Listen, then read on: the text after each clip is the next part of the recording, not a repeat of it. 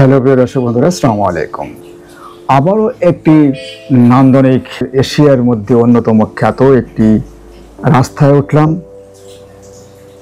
এই রাস্তাটি দেখলে হয়তো আপনার কি মনে হবে ঠিক আমি জানি না। এই রাস্তাটি কোনো দেশের বাইরে, ইউরোপ কান্ট্রি বা উন্নত, যারা আমরা সাধারণত অনেক উন্নত দেশসমূহের কথা ভেবে মাথায় আসতে পারে এমনটি। এই যে যে অবস্থা, দেখেন এই রাস্তাটির চারিপাশে যে পরিমাণে, কি বলব, সবুজ বন বানানে দিয়ে যেভাবে পরিবেশ তৈরি হয়ে আছে, নিঃসন্দেহে আপনারা ভাবছেন এটা কোনো এক কি বলব স্বপ্নপুরীর দেশ বা উন্নত রাষ্ট্রের একটি দৃশ্য? না। এমনই অবস্থাটা বাংলাদেশেও হয়েছে বিভিন্ন অঞ্চলে। আজকে আপনাদের সাথে পরিচিত করাবো এই রাস্তা এবং এই রাস্তার সাথে, এই যে যে নদীর সাথে রেল লাইন এবং এই সিক্স লেন এই রাস্তার কিছু অংশ আপনাদের সামনে তুলে ধরার চেষ্টা করছি। আশা করি মনোযোগ সহকারে আমাদের আজকের এই আয়োজনের যে ভিডিওটি দেখবেন নিজের কাছে ভালো লাগবে বন্ধুদের কাছে এটাকে শেয়ার করে দেখবার সুযোগ করে দেবেন। দেশের উন্নয়ন অগ্রযাত্রার দিকে বাংলাদেশ আহ, কোনোভাবেই পিছিয়ে নেই ছিল না। সাম্প্রতিক কোনো ঘটনার কথাই আমি এই ভিডিওর মধ্যে বলতে চাই না। আপনারা অনুমান করে নেবেন, উন্নয়ন, অগ্রগতি, অগ্রযাত্রা কোন দিকে যাচ্ছিল বা যাচ্ছে সে বিষয়টি আপনারা আমাদের আজকের এই ছোট্ট আয়োজনটার মধ্য দিয়ে বুঝে নেবার চেষ্টা করবেন। এটা সিক্স লেন রাস্তা। আপনারা কদ্দূর এই সিক্স লেন রাস্তা দেখলেন। আমরা এখন পৌঁছেছি এই রাস্তার সাথে মধুমতির উপর দিয়ে যে রেল লাইন ব্রিজ গিয়েছে তারই যে একটি অংশ আপনাদেরকে দেখাবার চেষ্টা করছি। আমরা এই মুহূর্তে রয়েছি নড়াইল গোপালগঞ্জ ফরিদপুর। এই যে যে বেল্ট এর মাঝখানে যে মধুমতি নদী গিয়েছে, এপার অর্থাৎ পশ্চিম পাড়ে আমাদের নড়াইল জেলা এপারে গোপালগঞ্জ এবং ফরিদপুর, টঙ্গী এই অংশ। আমরা এই রেল ব্রিজের মানে একেবারেই এই প্রান্তে, পশ্চিম প্রান্তে আমরা রয়েছি। আমরা হাঁটি হাঁটি পা পা করে এই রেল লাইন দিয়ে হেঁটে যাওয়ার চেষ্টা করছি। আপনাদেরকে শুধুমাত্র দেখাবার জন্য মনের ভেতরকার যারা অনেকেই দেখেছেন, অনেকেই সরজমিনে এসেছেন, অনেকে হয়তো আসতে পারেননি, যারা দেশের বাইরে রয়েছেন, অথচ আপনারা আপনার এলাকায় এরকমের উন্নয়ন মানে অগ্রযাত্রা এবং উন্নয়নের একটি চমৎকার দৃশ্য বা ফলাফল, এটা আপনারা হয়তো নিজের সচক্ষে দেখেননি।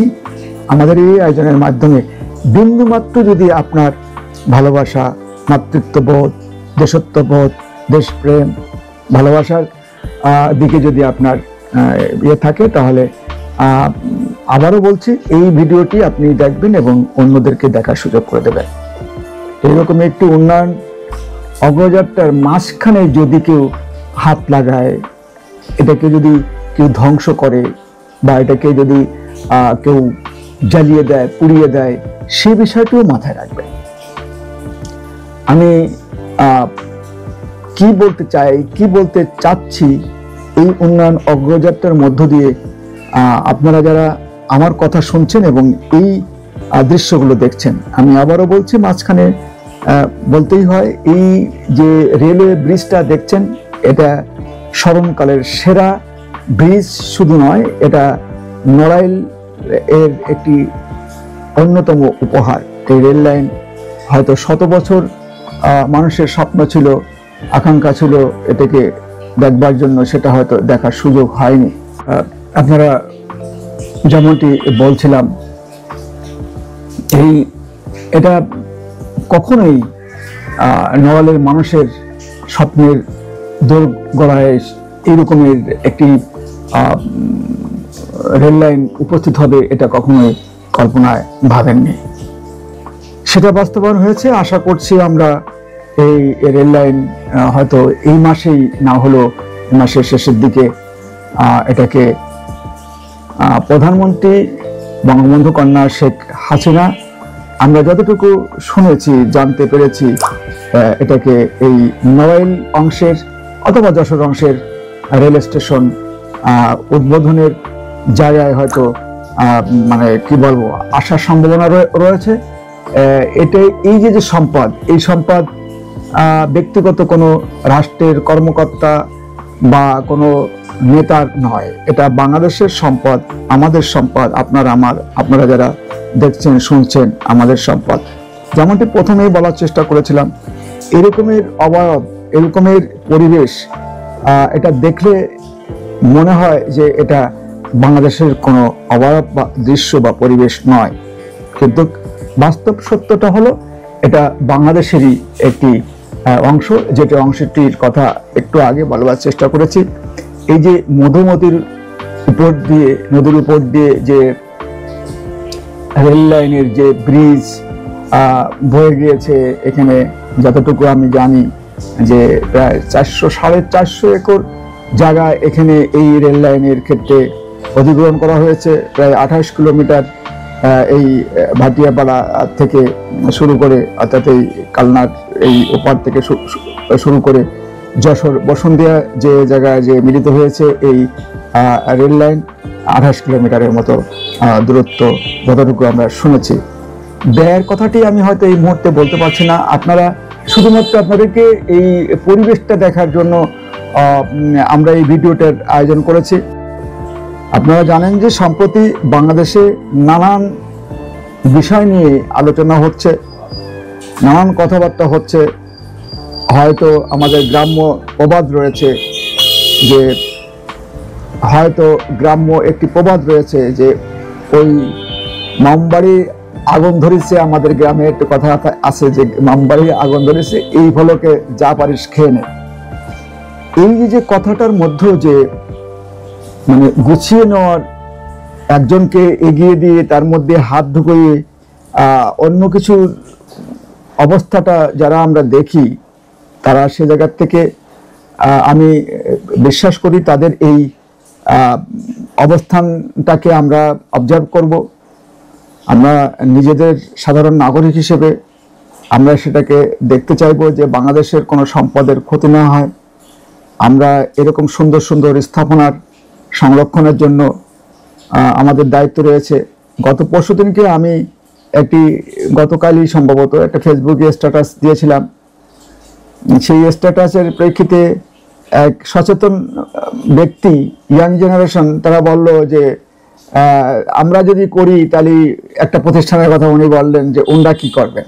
কিন্তু বিষয়টা হলো যে, আইন এবং রাষ্ট্রের সমস্ত দপ্তরের পরেই শুধুমাত্র দায় ছেড়ে দিলেই নয় আমি, আমরা বিশ্বাস করি, আমি এবং আমরা বিশ্বাস করি যে নাগরিকদেরও কিছু দায়িত্ব রয়েছে, সচেতন নাগরিকদেরও কিছু দায়িত্ব রয়েছে, কি অন্যায় হচ্ছে, কি অপরাধ হচ্ছে, কি দুর্নীতি হচ্ছে, কি মানে রাষ্ট্রকে কি বিপথে পরিচালিত করার জন্য কারা কি করছে, যেনারা রাষ্ট্রে রয়েছেন, তেনারা করছেন, নাকি অন্যভাবে এখানে হাত ঢোকানো হয়েছে, নাকি বহির্বিশ্বের কোনো ইঙ্গিত রয়েছে এই বিষয়গুলো সচেতন নাগরিকদের ভাবার যেমন জায়গা রয়েছে, কথা বলার জায়গা রয়েছে এবং তারা তাদের দায়িত্ব রয়েছে মানুষকে সচেতন করে একটি সংখ্যাগরিষ্ঠ মানুষের মধ্যে শুভবুদ্ধি এবং চিন্তা চেতনার কথা তাদের কাছে তুলে ধরে অন্তত পক্ষে রাষ্ট্রের জানমাল রক্ষার ক্ষেত্রে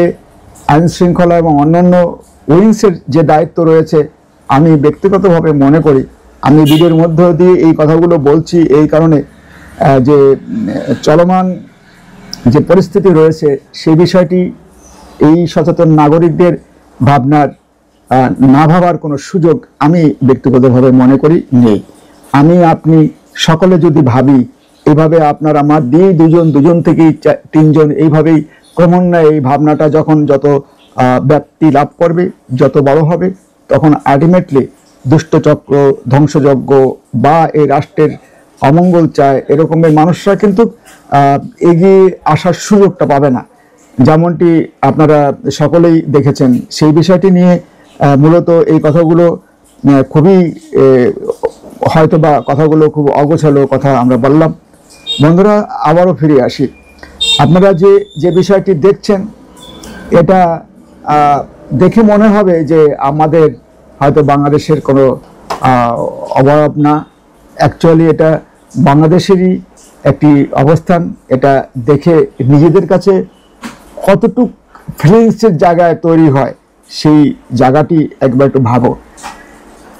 আর এই কষ্টে অর্জিত উন্নয়ন, এই কষ্টে উর্জিত ভালোবাসার উপহার, এই কষ্টে উপার্জিত এই সম্পদ যদি হঠাৎ করে কেউ কোনো চক্র বা সত্যতামূলকভাবেই যদি আমরা ভাবি এই রাষ্ট্রে যারা ভালো চাই না, আমরা মঙ্গল চাই না, সত্যিকারে যদি আমরা ভালোবাসি, তাহলে এই কষ্টে অর্জিত উন্নয়ন সম্পদ ধ্বংসযজ্ঞের মুখে ঠেলে দেওয়া থেকে প্রত্যেকটি নাগরিকের, প্রত্যেকটি মানুষের আমি ব্যক্তিগতভাবে মনে করি আমাদের ফিলিংসের জায়গা থেকে সোচ্চার হয়ে দাঁড়ানো উচিত। এটিকে রক্ষণাবেক্ষণের দায়িত্ব শুধুমাত্র সংশ্লিষ্ট প্রশাসন বা আইন শৃঙ্খলার লোকেরই নয়। আমি মনে করি যে আমাদের প্রত্যেকটি নাগরিকের এই দায়িত্ব রয়েছে। সেই জায়গার থেকে প্রত্যেকটি মানুষকে এই ভাবনায় নিজেকে রূপান্তরিত করতে হবে। যার সহযোগিতায় এই ভিডিওটি করা হয়েছে, তিনি আমাদের নরেল কণ্ঠের প্রতিনিধি সৈয়দ সম্রাট আলী। তার এই চিত্রায়ন এবং চিত্রায়নের সাথে কিছু কথা বলবার চেষ্টা করেছি।